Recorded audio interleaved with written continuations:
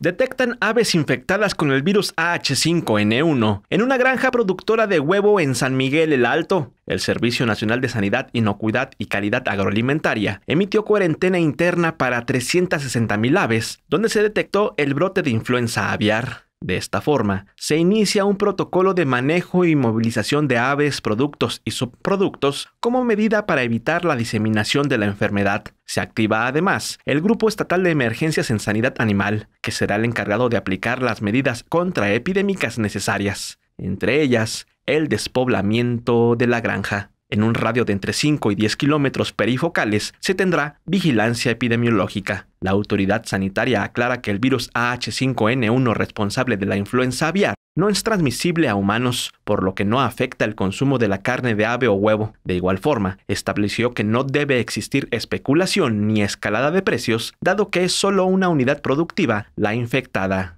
Eduardo Aristeo Chávez, Jalisco TV Noticias.